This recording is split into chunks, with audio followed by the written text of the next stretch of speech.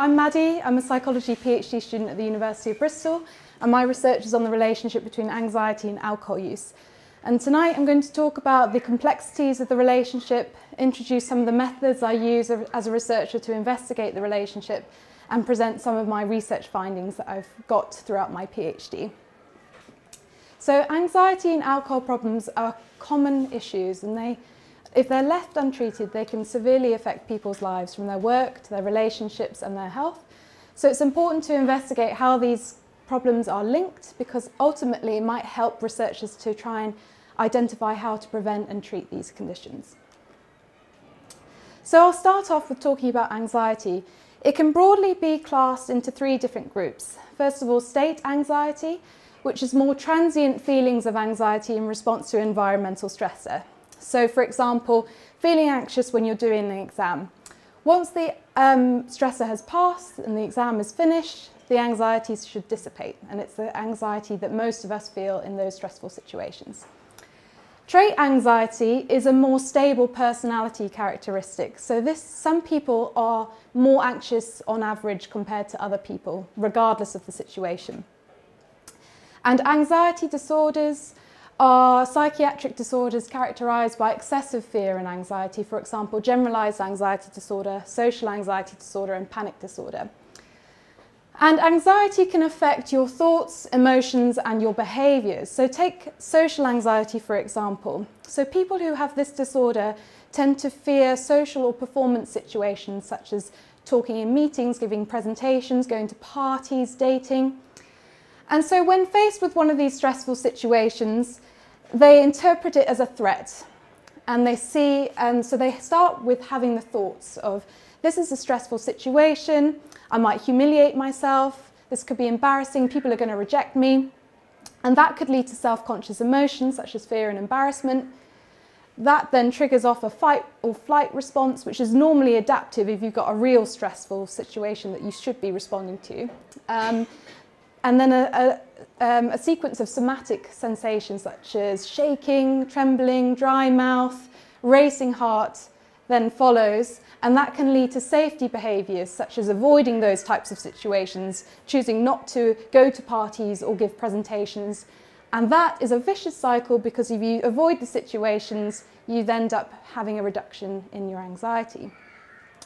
So anxiety is a common problem. About one in six of us will, um, will experience an anxiety disorder at some point in our lives, and women tend to experience it more frequently than men.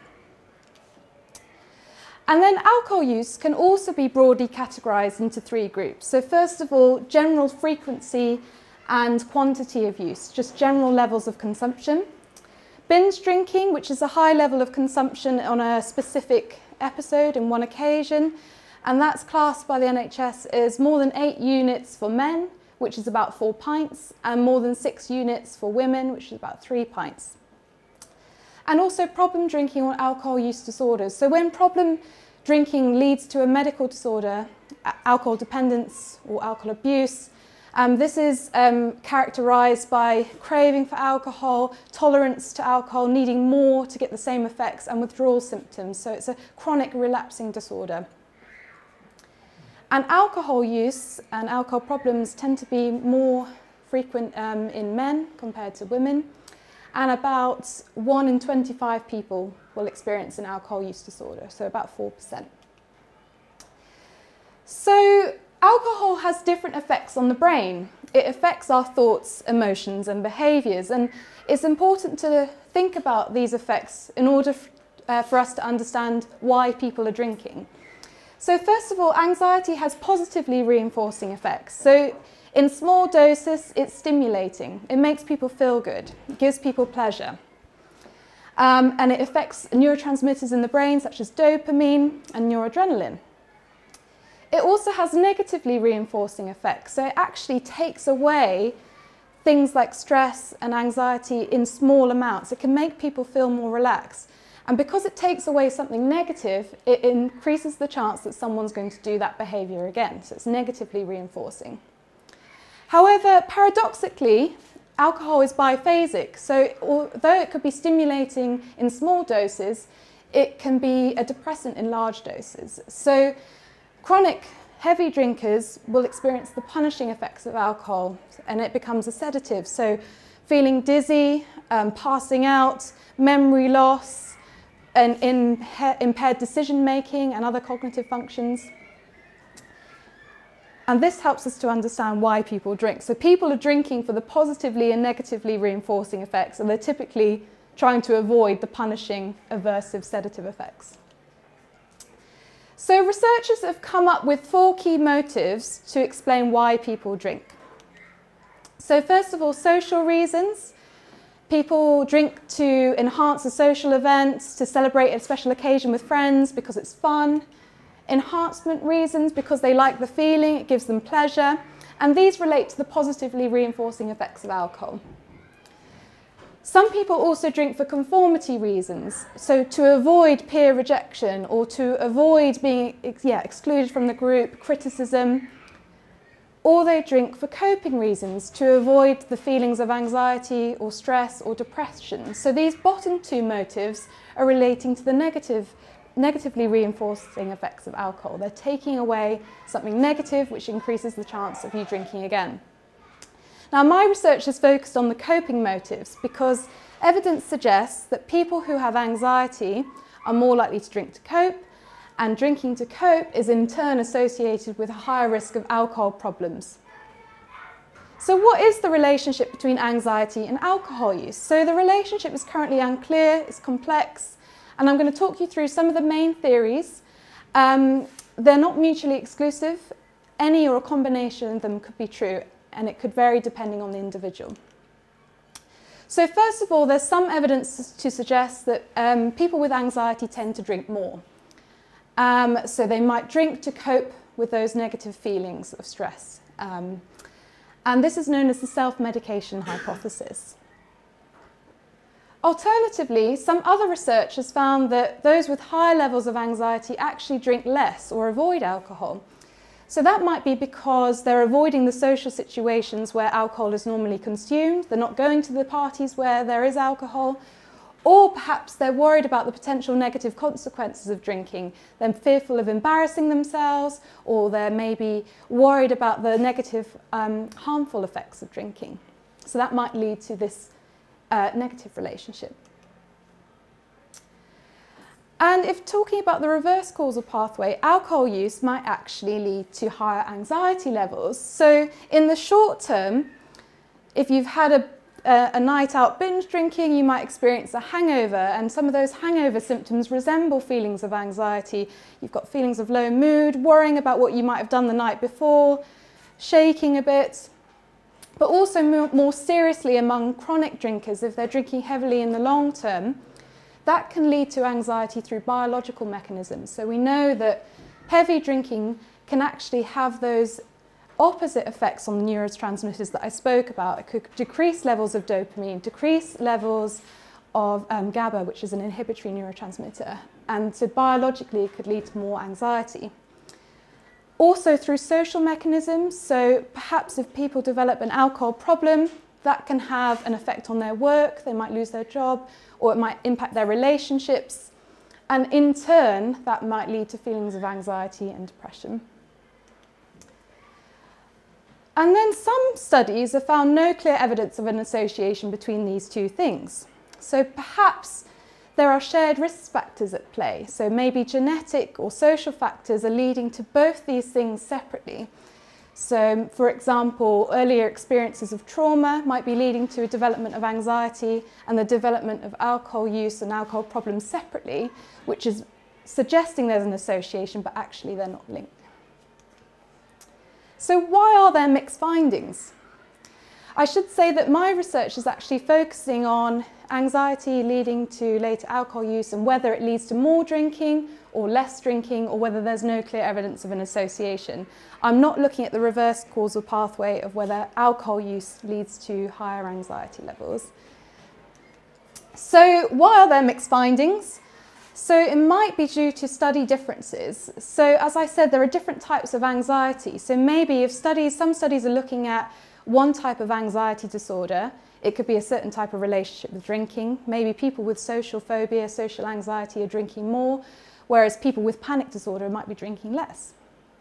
It might depend on the type of alcohol outcome we're talking about, whether it's um, alcohol dependence or just whether you are drinking on every night of the week or so level of consumption versus an actual alcohol use disorder. So because there are different types of anxiety, different types of alcohol use, they may have different associations. Study designs, there's some evidence that um, anxiety and alcohol problems tend to co-occur more frequently in treatment-seeking individuals, so in clinical samples. Whereas those associations, those comorbidity rates are lower in the general population. So it really depends what kind of sample researchers are using. And also study quality. Um, perhaps if studies have a low sample size, they've um, been influenced, they've got bias and they've been influenced by other factors, they might be giving us the incorrect answer. So there might be mixed findings also because the influence of other factors. So the relationship might not be as simple as saying, oh, anxiety is leading to later alcohol use. Perhaps there needs to be an interaction that we need to be aware of. So maybe anxiety and the presence of uh, a certain personality trait like impulsivity makes people drink more. Or perhaps the relationship only occurs in a certain age group, um, a certain ethnic group, or people of a certain um, social class.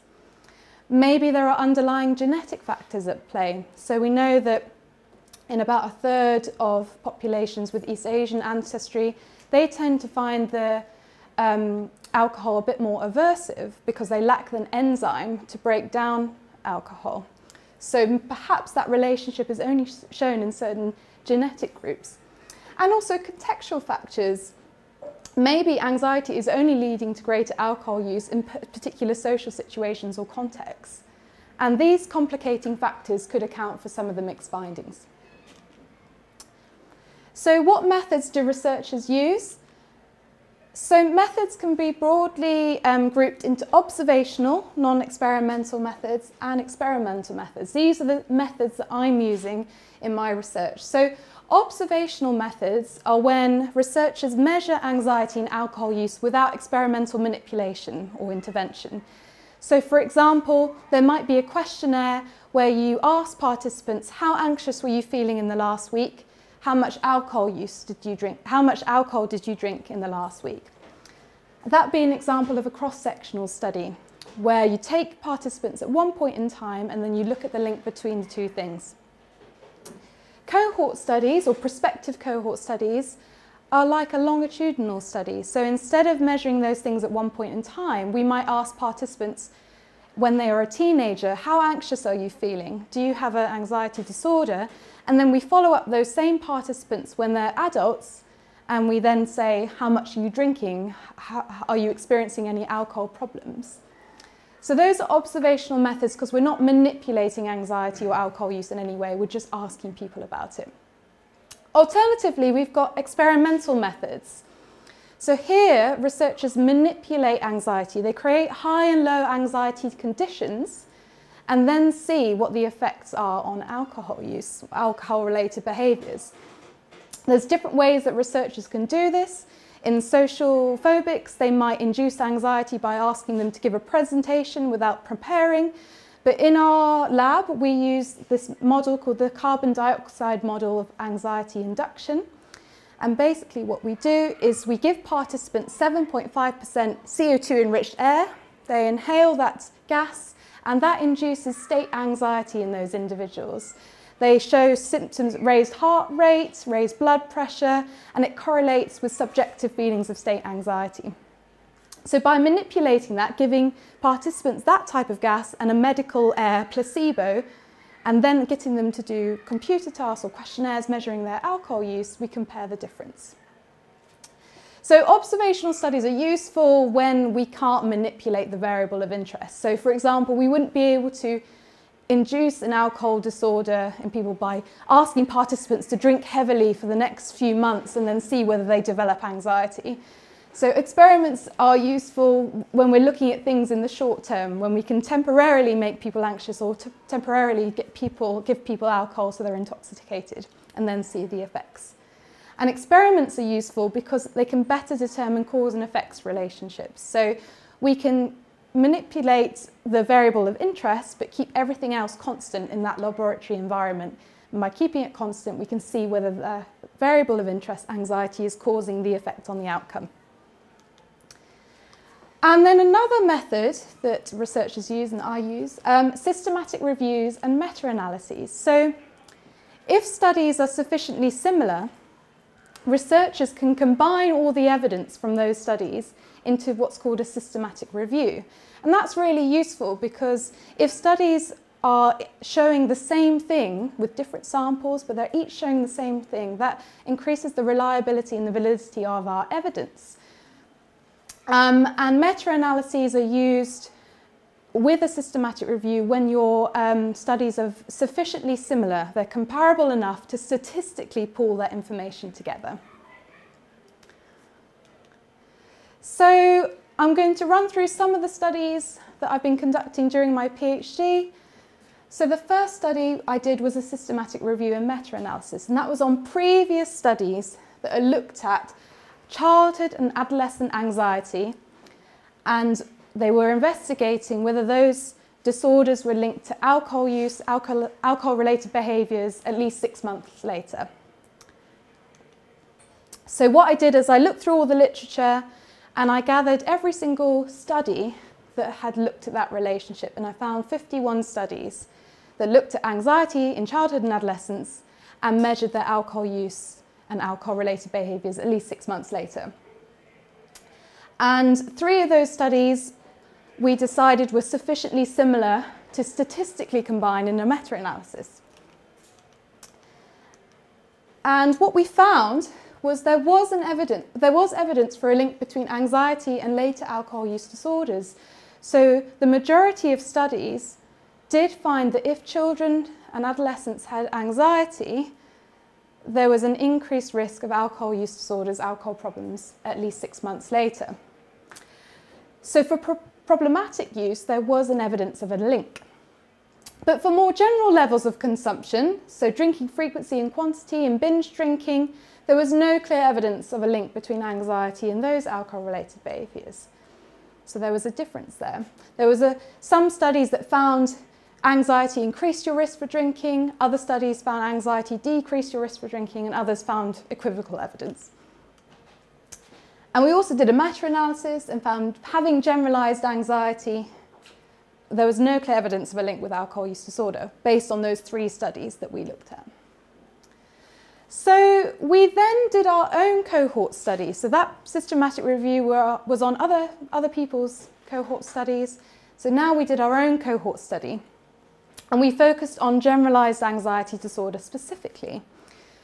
And we wanted to know, was that linked to frequent drinking, binging, hazardous drinking, harmful drinking at age 18, so cross-sectionally at the same time point, and prospectively three years later. So do the effects of anxiety actually last over time?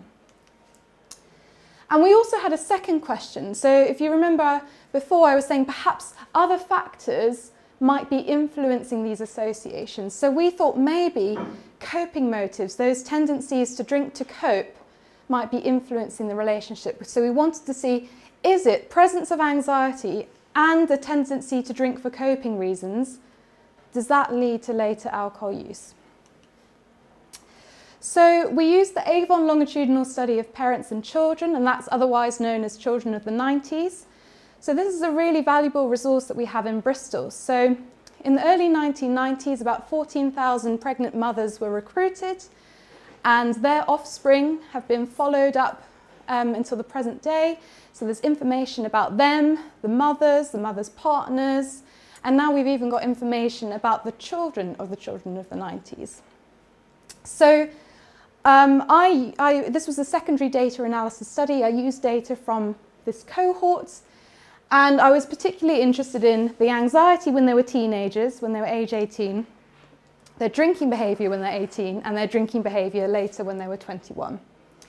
As you can see, the sample size reduced over that time. So the problem with longitudinal studies, and ALSPAC's no exception, people tend to drop out over time, unfortunately. So with those more longitudinal associations, we had a slightly smaller sample size. So what did we find? So we did find evidence for a link between generalised anxiety disorder and all our alcohol outcomes at age 18. So cross-sectionally at the same time there was an association. And the association only remained for harmful drinking three years later. So at the most severe forms of drinking, harmful drinking, anxiety continued to be a risk factor for harmful drinking later in life, three years later. Drinking to cope, supporting the previous literature, really did strongly predicted all alcohol outcomes. But it didn't influence the anxiety association. So there seems to be a separate thing going on. Anxiety influencing alcohol use, drinking to cope influencing alcohol use, but no sort of interaction between the two. I then did a cross-sectional study in a different sample so this time I was interested in state anxiety, so those general transient fluctuations in anxiety that people naturally experience rather than a, severe anxiety disorder. So I was wondering whether this is linked to alcohol choice and craving for alcohol.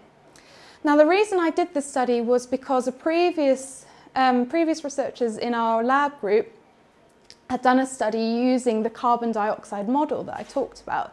So they'd manipulated state anxiety and they'd found that in the, state, in the high anxiety condition, people chose alcohol more over other rewards like food.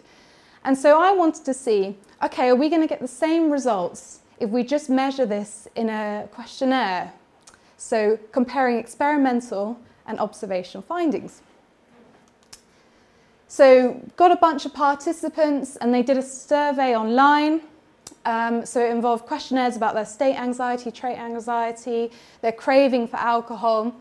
And we also got them to do a computer task. So we like to use computer tasks as well as questionnaires because they're an implicit way of showing your motivation for alcohol use. So questionnaires are directly, explicitly saying to people, how much are you wanting alcohol right now? How much are you drinking? And those are subject to some biases. So some people might um, experience memory biases or social desirability biases, they might not be honest about what they're drinking.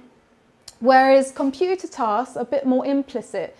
They can subtly detect motivation for alcohol. So what we did is we showed them images of food, so typical UK meals and alcoholic drinks, and they were just asked to choose what image do you prefer. It was a very, um, yeah, indirect question. What, what image do you prefer? And this task actually correlates with severity of alcohol dependence. So people who choose the alcoholic pictures more, um, that correlates with severity of dependence. So what did we find? So actually, it didn't support a previous experimental study. State anxiety wasn't linked to choosing alcohol on that task, but there was some evidence that it was linked to your craving for alcohol. So feeling anxious in that moment was linked to your craving for alcohol. We also looked at trait anxiety, that was associated with craving. And again, drinking to cope, those coping motives were associated with our alcohol outcomes. And then finally, I'm working on a laboratory experiment of myself. Um, this is unfinished, so I'll just talk through the methods. So again, we experimentally manipulated state anxiety in the lab using this carbon dioxide model. And we wanted to see whether we could replicate the first study. Does it link to alcohol choice? Does it link to approach tendencies for alcohol? And I'll explain what those are in a minute. And does state anxiety link to craving? And once again, we wanted to see, okay, so we didn't find any evidence that coping motives were influencing the um, relationship in our big cohort study with children of the 90s, but perhaps it shows something with state fluctuations. Perhaps it shows something in an experimental study.